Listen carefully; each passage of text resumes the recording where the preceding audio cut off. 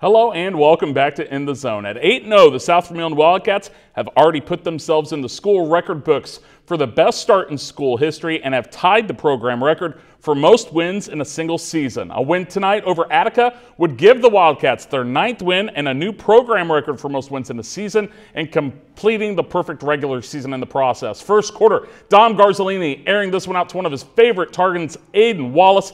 Aiden finds Pater as Wildcats jump out to an early lead. Later in the first, Attica punting to Dallas Coleman and Dallas. If I had Marty's mixtape like we've joked about in the past, this would surely be on it. The Wildcats extending their lead here with the special teams touchdown. Attica trying to make something happen later in the first, trying to go through the air, but freshman Ben Shyrock has other plans as he comes up with the interception, taking this ball deep into Rebels territory. South Vermillion wins 53 to 3, claiming back-to-back WRC championships and setting that new program record for most wins in a season. SV will now look to add win number 10 to the list next week against North Posey.